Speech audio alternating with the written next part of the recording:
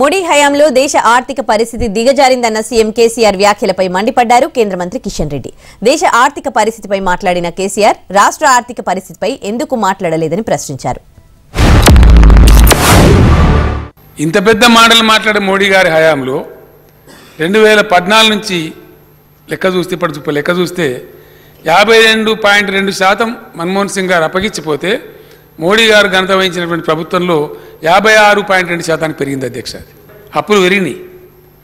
మరి ఎక్కడ పోయినట్టు? ఎవరి మీద అరుస్తున్నట్టు మోడీ గారు? ఆయన మీద ఆయన అరుచుకుంటున్నట్ట? ఎవరి మీద ఈ గింకారాలు హూంకారాలు చేస్తున్నట్టు? ఎవరిని నింద చేస్తున్నట్టు? ఈ సత్యం ఎవరు చెప్పాలా? ఇవన్నీ వాస్తవాలు కాదా?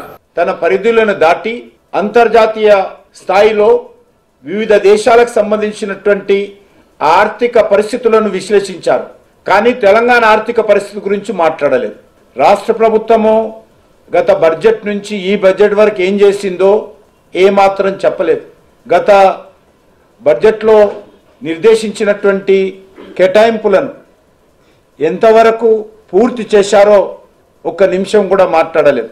ఇది తెలంగాణ బడ్జెట్ సమావేశాల లేక దేశ ప్రధానమంత్రి వ్యతిరేక సమావేశాల ఈరోజు తెలంగాణ ప్రజలు అర్థం చేసుకుంటున్నారు.